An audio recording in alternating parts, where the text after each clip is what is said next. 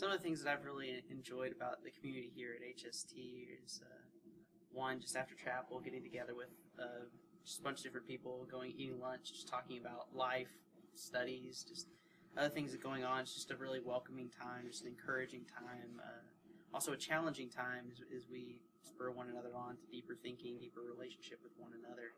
Um, in addition to that, something else that's been something else that's been a huge blessing is just just the ability to play soccer. On Thursdays, there's a group of us we get together uh, about four o'clock and play for about an hour, hour and a half. Just good, intense fun. Um, it's just been a huge uplifting time. It's just drawn me closer together to the people we play with and uh, just the people that we engage with, and uh, I enjoy doing life with them. I was a distant student student for 11 years, and so my pilgrimages here were just a wonderfully rich experience. I always felt welcomed and and appreciated and uh, very warmly received.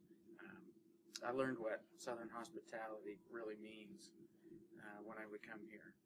And then the relationships that I built through classes with people across the country and in Canada, um, a lot of those have been sustained through the years. So um, networking and, and the reception, I think, really stands out as far as I'm concerned for the HST community. Well, one of the things that I appreciate about our community here is, uh, in particular, the Mission Interest Group.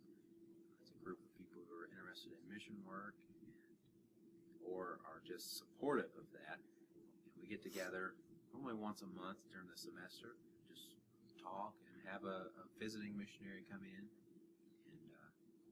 It's just a good time to have a meal, share a meal together at the Hufford's house. And it's a, it's a good time of fellowship and really enjoy people and interacting who have a common interest in that. And uh, recently, uh, kind of along the friendship and uh, community that's built here, we went on a, a, uh, a spiritual retreat with a few guys, and we went out to a, a state park and just had a day of, of retreat, getting away from intense studies and trying to you know just connect with God and with each other. And really enjoying that.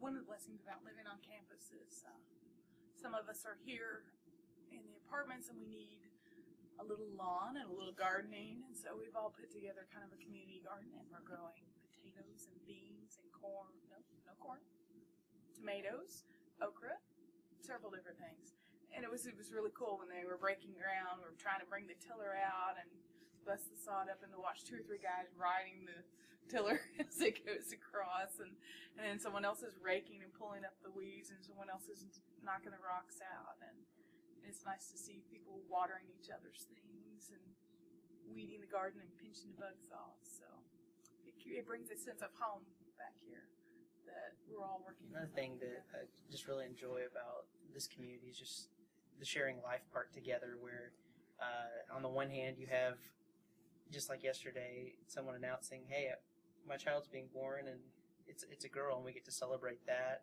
Uh, there's just lots of kids running around on campus, and it, it almost seems like we're all related. You you go into someone's house just eating lunch, and here comes their little two two year old, and you become their buddy for the day. Just they're sitting in your lap, and, and you get to enjoy not just the people you're studying with, but their families as well. But it's also a very welcoming and and, and just community of love, just even when in times of loss. Um, just think, think of some friends recently who on campus have lost loved ones, and everyone surrounded them, even helped pay for their trip to uh, to to go out back home and take care of that. Uh, and, and they knew that they had a group here to love and support them and care for them during this time of, of need, and that their needs would be met. So it, it's just a great time of celebration. You get to be a part of people's lives uh, in the good times of celebration, but but also in the times of, of loss and, uh, and where that I comfort is. telling Frank a second ago.